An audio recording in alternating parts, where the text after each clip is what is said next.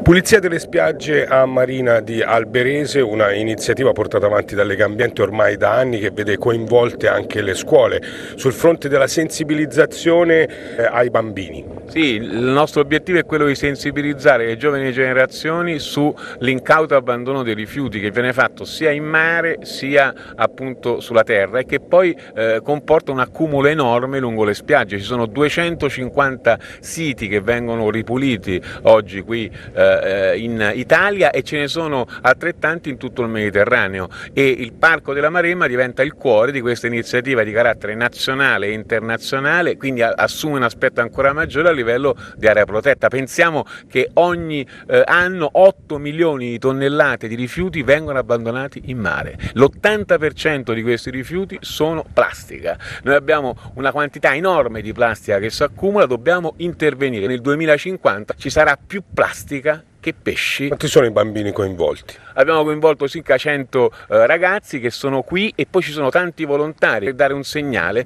di azione concreta, diretta, pro- di protagonismo. I turisti che comunque qui vengono hanno la percezione netta di essere all'interno di un parco e quindi eventualmente il materiale, i rifiuti, sono plastica, vengono fondamentalmente portati nelle mareggiate eh, autunnali e, e, e invernali e quindi queste iniziative appunto sono fondamentali fondamentali perché manualmente ci consentono di, di, di operare la pulizia.